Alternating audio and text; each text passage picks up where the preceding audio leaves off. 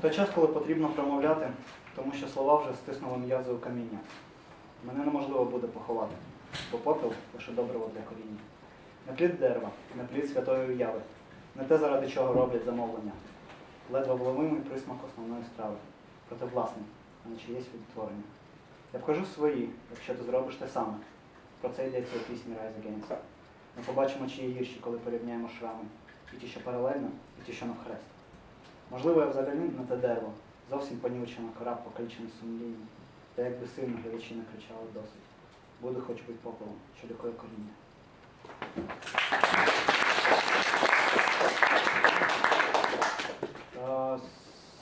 Сегодня я должен был выступать еще с одним человеком.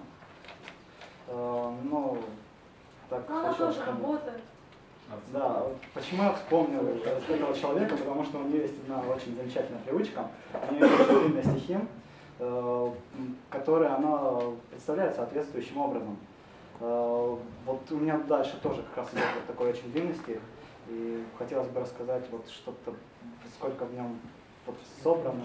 Я не умею это делать так замечательно, как это делает она, потому что, ну, вы так все внимательно слушаете, никакого шевеления, тогда я мог сказать, что вот люди там, вот, человек пошел замечательно. И Мог сакцентировать на этом. Пока. А нет, А, еще вернул замечательно. а увидел. Он договорит как раз. А, ну, не ждут? Не знаю. Я так. Вот, так я продолжаю говорить про стих. да. Э, собственно, Ты меня уже задолбал. Видишь, Три как, года с тобой играю, уже видишь, как пагубно на меня влияет. это? Не жать Дима, он по делу И так стих. О, Творение. Ладно, Хоффман сказал, что я по делу, сейчас мне стало страшно, А, поэтому да, переходим к стиху. Творение. Он не понял. Ну. Картата сорочка.